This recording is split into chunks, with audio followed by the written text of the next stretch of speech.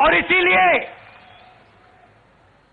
गुजरात का समाज आज सड़कों पे खड़ा है, आंदोलन कर रहा है, अपनी लड़ाई लड़ रहा है।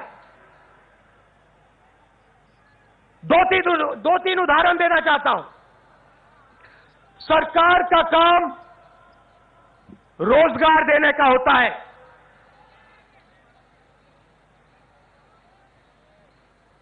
मुकाबला हमारा हिंदुस्तान का चीन से है। दुनिया के सबसे बड़े देश हैं। या रोज़गार वहाँ जाएगा, या फिर रोज़गार यहाँ आएगा। ये देखिए, ये प्रेस के सब लोग खड़े हैं। आपके हाथ में कैमरा है। इसके पीछे आप जरा देखिए। क्या इसके पीछे मेड इन चाइना लिखा है या मेड इन गुजरात?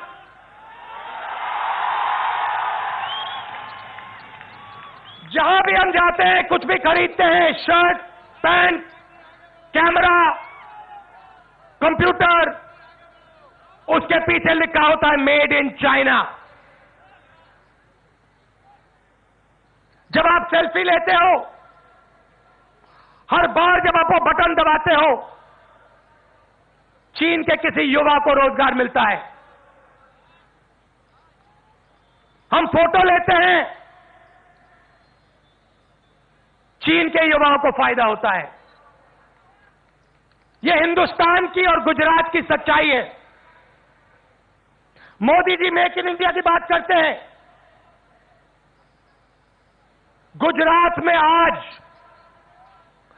30 लाख बेरोजगार युवा हैं।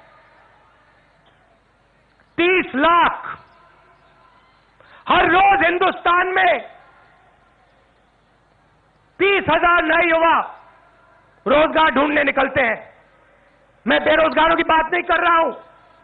24 घंटे में तीस हज़ार नए युवा निकलते हैं रोज़गार ढूँढने।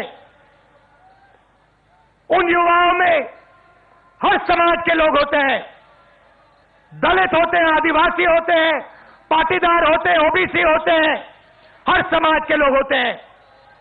और नरेंद्र मोदी जी की सरकार तीस हज़ार में से 24 घंटे में सिर्फ़ 450 को रोज़गार दे पाती